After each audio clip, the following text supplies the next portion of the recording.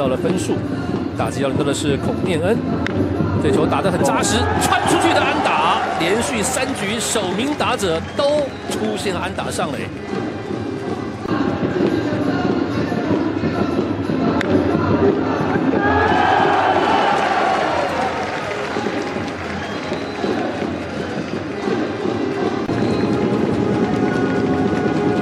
再度起跑是四坏球保送，